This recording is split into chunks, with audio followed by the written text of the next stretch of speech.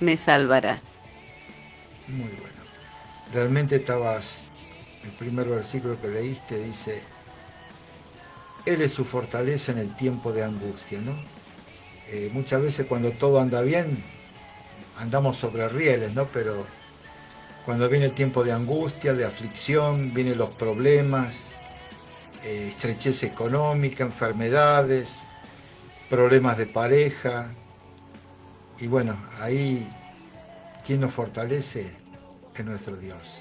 Yo creo que en este tiempo hemos acudido a Dios. Todos nos hemos acordado. el que no se acordó de Dios realmente, o no quiso escucharlo, yo creo que fue quien, quien más le costó pasar todo este tiempo que hemos pasado este año que todavía no terminó totalmente, aunque tenemos una pequeña apertura, más o menos las cosas están un poco mejor, pero todavía no, hemos salido totalmente, ¿no? Pero Dios estuvo con nosotros, yo creo que sí, ¿no? Sí. En todos estos meses yo he visto la mano de Dios. Sí. Nos guardó del peligro, nos guardó de, de un montón de cosas. Aún económicamente nos ha sostenido. No tirábamos manteca al techo, pero no faltó un bocado de, comida sobre la mesa. ¿no? Sí, es así. Salmo 56, 11 dice, en Dios he confiado, no temeré. ¿Qué puede hacerme el hombre? ¿no? Qué seguridad poder confiar en Dios. Y la confianza en Dios quita todo temor de nuestros corazones. Salmo 34, 4 dice, busqué a Jehová y él me oyó y me libró de todos mis temores, ¿no? De todos. En Salmo 34, 7 dice, el ángel de Jehová acampa alrededor de los que le temen y los defiende. Y en el Salmo 27, 3 dice, aunque un ejército acampe contra mí, no temerá mi corazón. Eso es seguridad. Amén. Seguridad, confianza. Y el Salmo 4, versículo 8 dice, en paz me acostaré y asimismo dormiré, porque solo tú, Jehová, me haces vivir confiado. ¿Quién puede dormir tranquilo en medio de una tormenta? ¿Vos te acordás algún caso de alguien que lo hizo? Jesús en la barca. En la barca, sí. Mientras la tormenta reciaba y parecía que las olas le tapaban la embarcación y que se iban a pique y bueno, estaban todos atemorizados. Exactamente. Jesús dormía tranquilo. Porque en definitiva él tenía control de todas las cosas. Y estaba tranquilo porque sabía que nada iba a pasar, ¿no? a pesar de la tormenta, a pesar de las dificultades, había todo un ejército de ángeles que estaban cuidándolos a cada uno de ellos, y a la embarcación también. Y de la misma forma tenemos que confiar nosotros, tener esa seguridad de que en Dios podemos estar tranquilos, podemos estar seguros. En Salmo 25.3 dice, ciertamente ninguno de cuántos esperan en ti serán confundidos. Y Salmo 5, versículo 12 dice, porque tú, oh Jehová, bendecirás al justo, como con un escudo lo rodearás de tu favor. ¿Para qué se usaba el escudo antiguamente? Para Los soldados cuando combatían. Para protección para protección. Los cubrían de, las espadas, de las lanzas, de, los, enemigos, de los golpes, ¿no? Estaba para protegerlo, ¿no? Y bueno, Dios nos rodeará con su favor, ¿no? Como con un escudo, ¿no? Salmo 23.4 dice, un versículo muy conocido, ¿no? Aunque ande en valle de sombra de muerte, no temeré mal alguno, porque tú estarás conmigo tu vara y tu callado me infundirán aliento. Aquí está hablando de una situación muy difícil. La sombra de muerte puede acechar tu vida, podés estar en peligro, pero el salmista decía, no temeré mal alguno, porque tú estarás conmigo. Y aquí hay un detalle. Dice, tu vara y tu callado me infundirán aliento. Dos herramientas muy sencillas. Tu vara. ¿La vara para qué sirve? La varita es para corregir, para enderezar, cuando nos desviamos, para llevarnos siempre por el buen camino. Y el callado, el callado era esa, esa vara larga, digamos, esa madera con una curva, viste, como una, si la das vuelta parecía una jota, ¿no? El callado era para sostenerte, para, que no te caigas, ¿no? O sea, Dios te corrige, pero al mismo tiempo te sostiene para que no caigas, El callado lo usaban los pastores muchas veces para levantar una oveja cuando estaba lastimada, cuando estaba en problemas, ¿no? Sí, porque no te da escape, no puedes escapar. Sí, sí. A causa del poder del enemigo, esperaré en ti, porque Dios es mi defensa. Es en el, Salmo 59.9. En el Salmo 59.11 dice, Dispersa, dispérsalos con tu poder y abátelos, oh Jehová, escudo nuestro. Ahí está pidiendo la ayuda, la protección contra los enemigos, ¿no? Dispérsalos, abátelos, oh Jehová, escudo nuestro. Amén. Nuestra protección es Dios. Fíjate Salmo 62, 5 al 8, y vamos a leer alternadamente un versículo cada uno, ¿no? Dice, alma mía, en Dios solamente reposa, porque de Él es mi esperanza. Él, sí. sí, decilo. Que solamente en Él podemos confiar y tener una esperanza de que todo terminará para bien, ¿no? que todo tendrá un final feliz. Sí. Él solamente es mi roca y mi salvación, es mi refugio, no resbalaré. En Dios está mi salvación y mi gloria. En Dios está mi roca fuerte y mi refugio. La roca fuerte es un lugar firme, sólido, sobre el cual podemos ponernos y no vamos a caer, porque está, es un lugar firme, sólido. Y mi refugio, el refugio es contra los peligros, contra las inclemencias del tiempo, las tormentas, contra los vientos, contra todo peligro, contra todo aquello que pueda amenazar nuestra seguridad. Y Dios es nuestra roca fuerte y es, también nuestro refugio. ¿no? Todas las... Espera. Sí, sí. Decime. ¿Cuál fue? Ah, esperad. Esperad en Él en todo tiempo, oh pueblos, derramad delante de Él vuestro corazón. Dios es nuestro refugio. Muy bien. ¿Qué te parece si vamos a un tema musical? Te exaltaré mi Dios por peregrinos y extranjeros. Te exaltaré mi Dios y mi Rey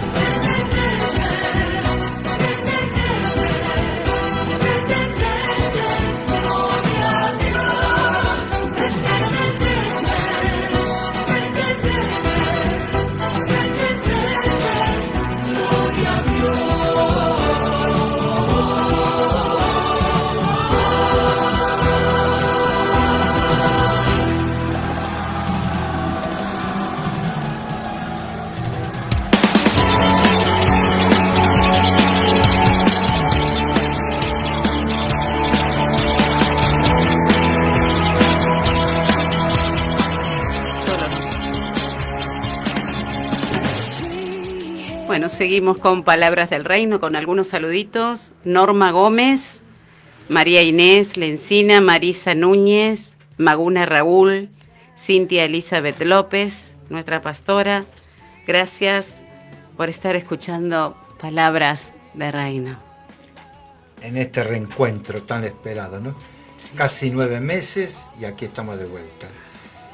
Eh, ¿Qué les da las direcciones de los centros?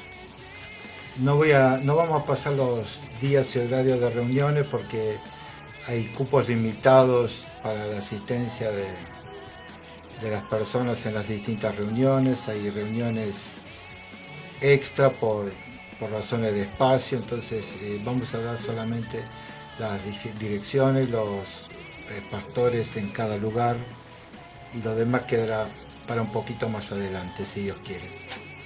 Centros Apostólicos. Garín, Centro Apostólico Fuerza y Visión, en Formosa y Colectora Oeste, local azul, a metros de la parada La Bota.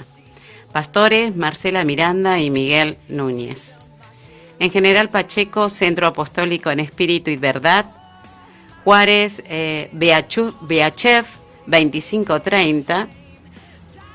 Entre Mansilla y Cerviño, Barrio Las Tunas. Pastores, Vanessa Cruz y Walter Acosta. En Maquinista Sabio, Movimiento de Poder, Los Gladiolos 2635, al costado de la sala Eva Perón, barrio Amancay. Pastores, Claudia Verdún y Marcelo Gamboa. Centro Apostólico Nacional en Corrientes 1474, Ingeniero Maswich, entre Almirante Brown y Avenida Benito Villanueva. Pastores, Cintia López y Roberto Mancilla. Muchos saludos para todos ellos. Bueno, y muchísimas gracias también por, por las personas que se han conectado del otro lado y, también por todos aquellos que eh, lo han de ver y escuchar más tarde, en diferido, así que el medio a través de Facebook se puede hacer, se puede verlo más tarde, se puede verlo otro día, así que tenemos esa ventaja tecnológica también ahora. Bueno, seguimos con el tema Dios es nuestro refugio. ¿no? Todas las precauciones humanas tienen un límite.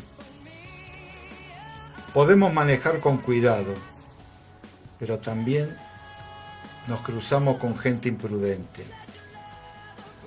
Podemos cerrar con llave todas las puertas, pero alguien tratará de violentarlas. Podemos tomar todas las precauciones para evitar un contagio, pero un descuido ajeno pondrá en peligro nuestra salud. O sea, en ningún caso hay un 100% de seguridad desde el punto de vista humano. ¿no? Necesitamos una certeza que va un poco más allá de nuestra fuerza, de nuestras capacidades.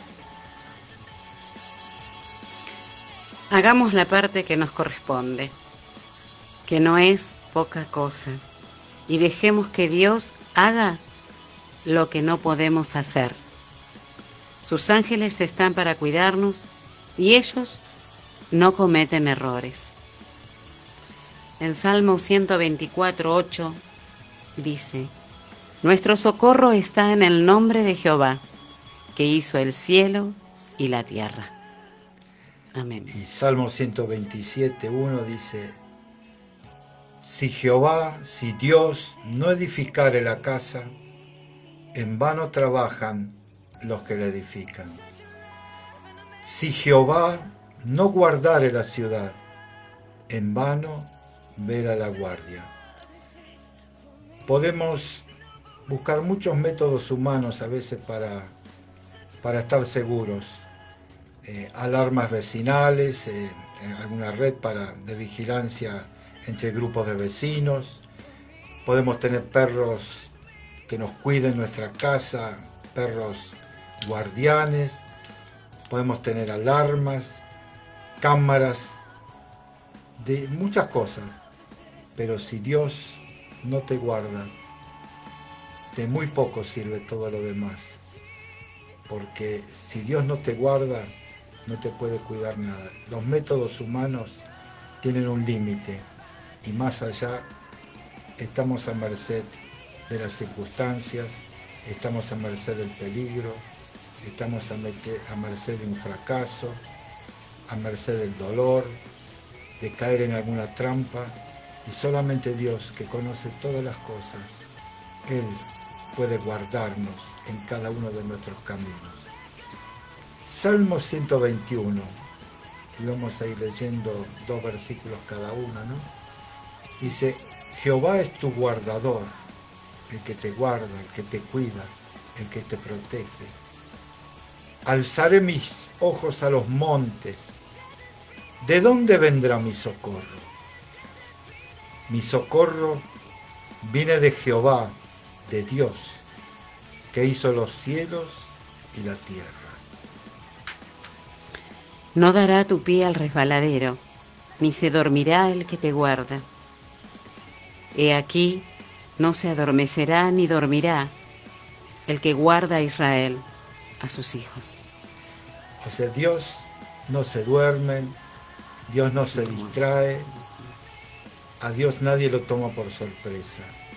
Él te va a cuidar y en Él podés confiar. Jehová es tu guardador, dice. Jehová es tu sombra a tu mano derecha. El sol no te fatigará de día, ni la luna de noche. Jehová te guardará de todo mal. Él guardará tu alma. Jehová guardará tu salida y tu entrada, desde ahora y para siempre. Amén. ¿Puedes repetir el último texto realmente? Jehová guardará tu salida y tu entrada, desde ahora y para siempre. Qué hermosa declaración. Amén, sí. Amén. Es para apropiarse y hacerla nuestra, ¿no? Que realmente lo que ahí está escrito, esto es para nosotros también. ¿no? Bueno, eh, se nos sumó Ernesto Tito Mastrangelo también entre la gente que estaba Buenas noches. Sintonizando este programa. El Salmo 86, versículo 7. En el día de mi angustia te llamaré, porque tú me respondes. Aquí hay algo más. Podemos acudir a Él y tener la certeza de que Él responde. La plena seguridad. Salmo 89, 18 dice, porque Jehová es nuestro escudo y nuestro rey es el santo de Israel. Salmo 94, 22 dice, mas Jehová, Dios, me ha sido por refugio y mi Dios por roca de mi confianza. Jehová está conmigo no temeré lo que me puede hacer el hombre. Y algo parecido un poquitito más adelante en el Salmo 118 también. Dice, mejor es confiar en Jehová que confiar en el hombre, ¿no? Que Dios realmente dice que no confiemos en los hombres, porque los hombres nos pueden fallar, nos pueden engañar, nos pueden defraudar, pero Dios es infalible con Dios podemos estar seguros, no vamos a tropezar, no vamos a resbalar, no vamos a caer si confiamos plenamente en Él. Quiero pasar a, otro momento musical en este momento, un hermoso tema, creo que lo tenés por ahí. Eh, yo ya lo, lo había escuchado por primera vez a mediados de los 70 y quería volver a la radio con, con este himno, con este tema tan hermoso que en una oportunidad con un grupo de chicas y muchachos, a la noche, como a las 11 de la noche, lo hemos cantado arriba de una montaña en Neuquén, a la luz de la luna, y realmente fue un motivo de gozo, de regocijo para nosotros. Señor mi Dios, coro menap.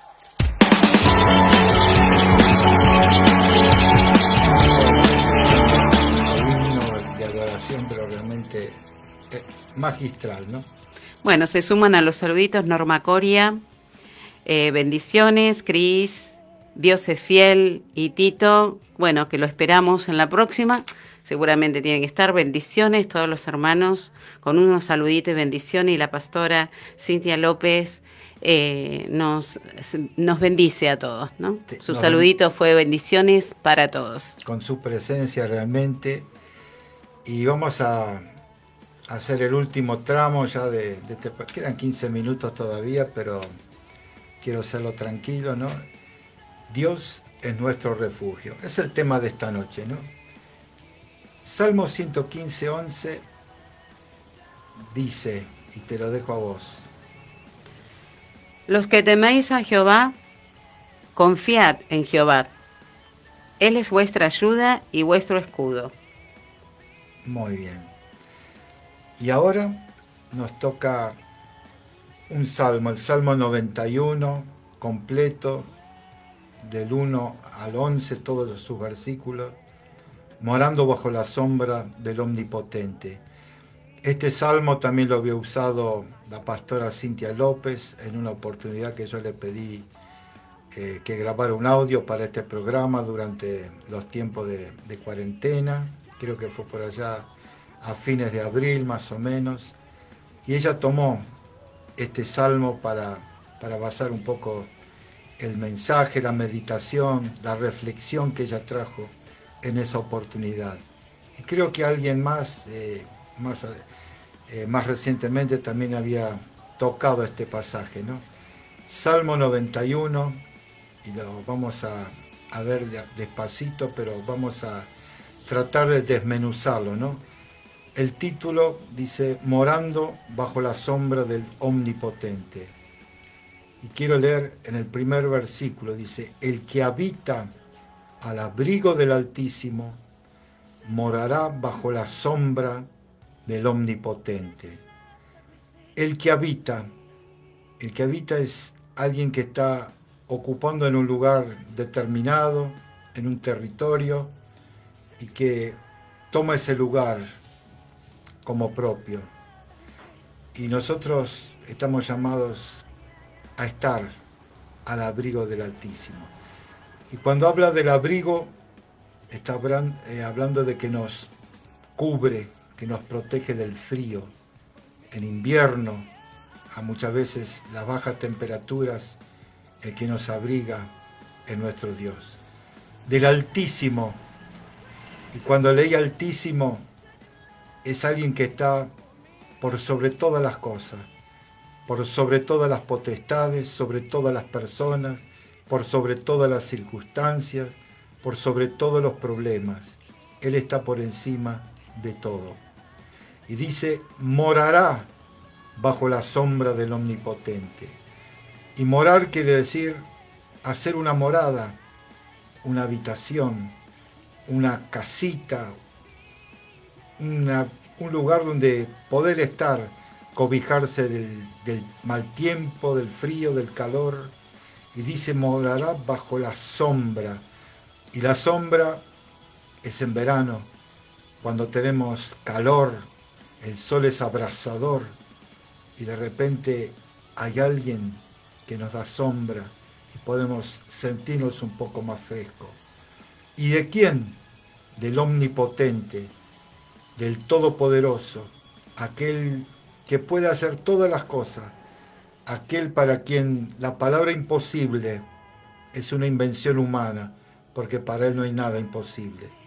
Y realmente cuando hablamos de abrigo y hablamos de sombra, sabemos que Dios está con nosotros en invierno y en verano, cuando hace frío y cuando hace calor. Él está por encima de todas las cosas y Él es el que todas las cosas las puede, ¿no?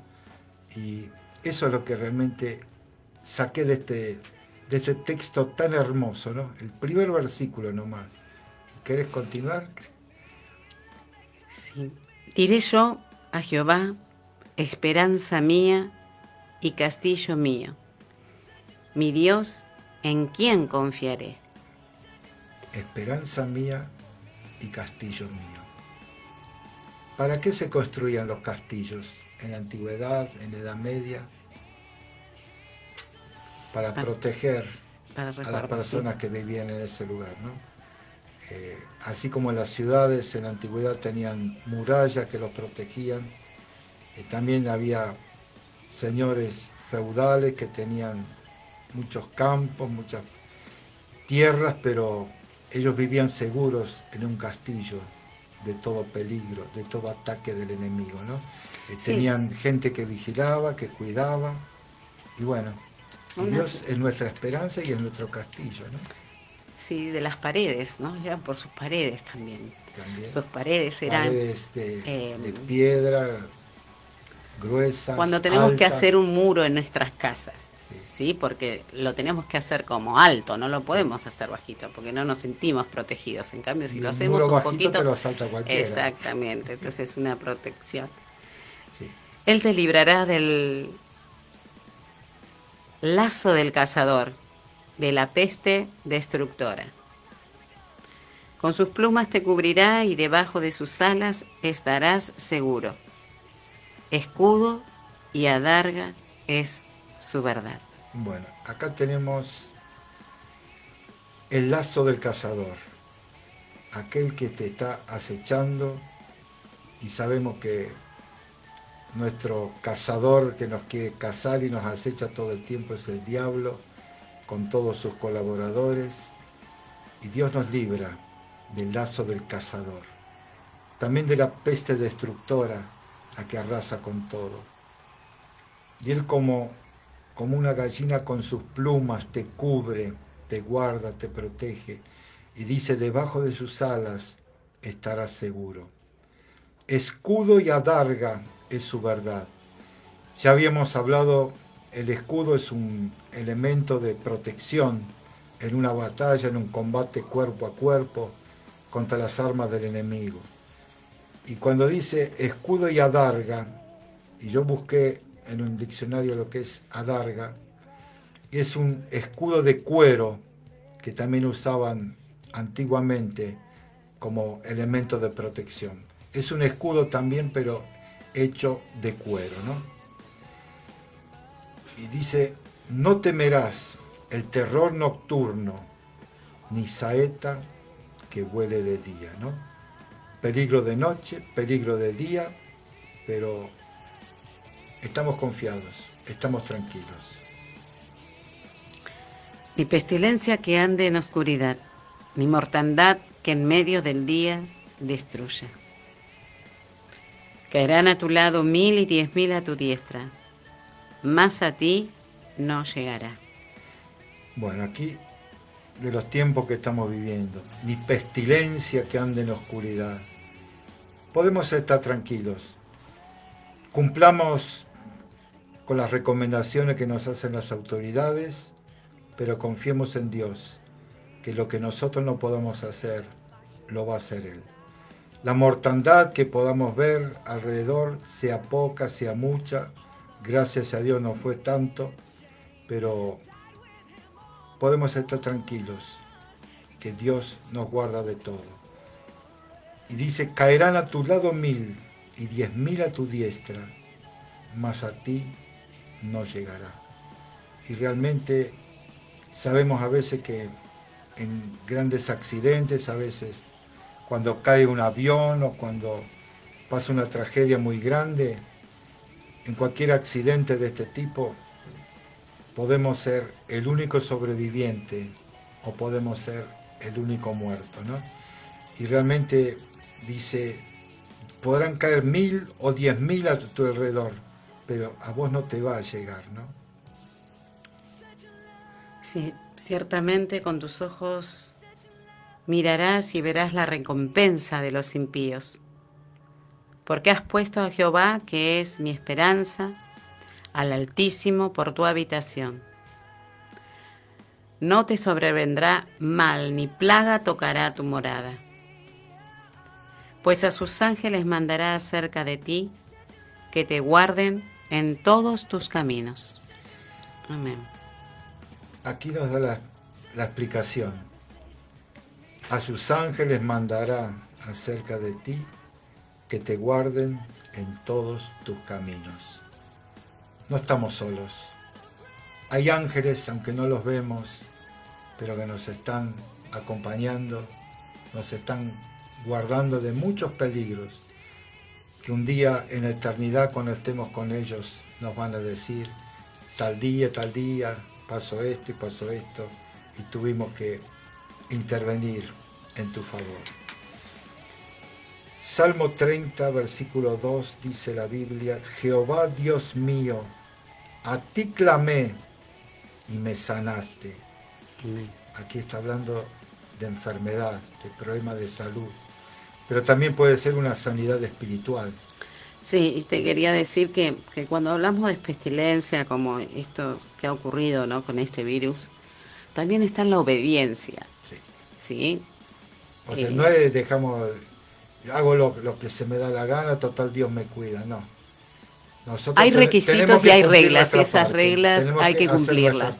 Exactamente. Tenemos que ser obedientes, conscientes, responsables, y Dios cuida la parte que, que no podemos hacer nosotros. Andar con el barbijo, con el no porque se ha dado libertad a ciertas cuestiones y podemos volver a nuestras actividades, debemos dejar la responsabilidad de llevar un barbijo, de tener el alcohol en gel o, la bandina, como hayan hecho en como muchos, lugares. en muchos lugares. El problema más importante es vencer el temor. Esto evitará que comportamientos colectivos inadecuados agraven la situación. Frente a cada situación que se nos presenta, la plena confianza en la protección de Dios nos dará la seguridad para los pasos que debamos hacer, ¿no? O, dar en este caso. Como dijiste, la, plena confianza en la protección de Dios, ¿no? Y fíjate... Porque nos da miedo, Alberto. Sí. Nos da miedo. Este virus nos da miedo. y un eh, poco te, infundieron miedo los, medios de comunicación que tuvieron todo el tiempo machacando sobre esto y sobre lo otro, ¿viste? Y, a veces mucha gente, el temor a veces hace bajar las defensas de las personas también. Exactamente, sí. Y a veces nos enfermamos más por el temor que por todas las otras cosas. Y nos agarra una crisis, crisis emocional. Estamos debilitados. Claro, es una crisis emocional que no lo podemos superar y eso hace que eh, se nos bajen las defensas, ¿sí? Y somos más vulnerables, ¿no? Exactamente. Y fíjate, ya termino acá con el texto del profeta Isaías, Isaías 43, dice, cuando pase por las aguas, dice Dios, yo estaré contigo. Y si por los ríos, no te anegarán. Cuando pase por el fuego, no te quemarás, ni la llama arderá en ti.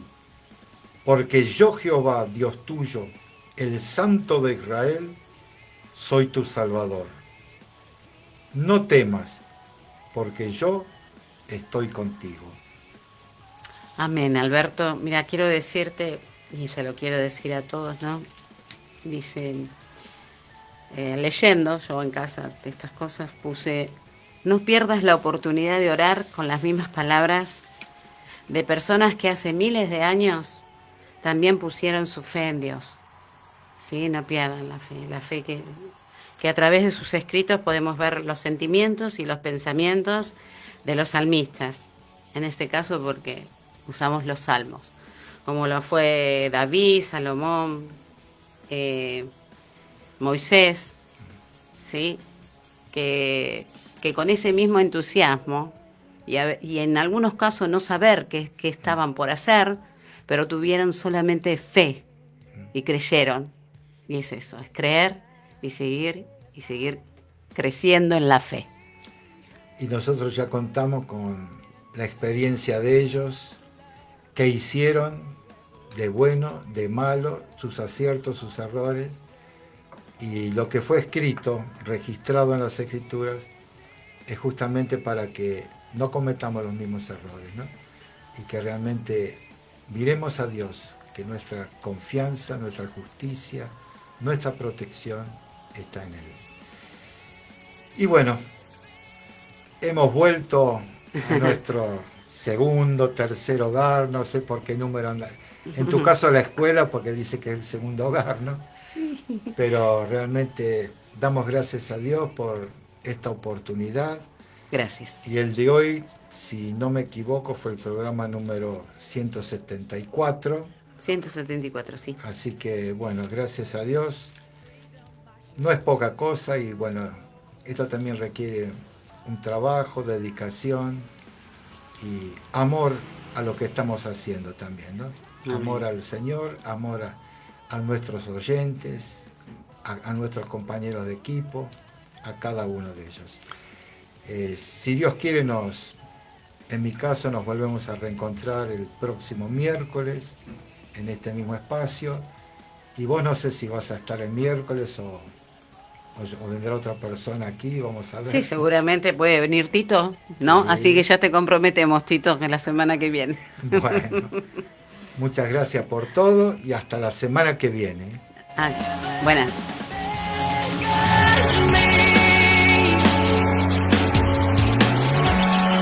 Such a love, such a love, such a love is. for me.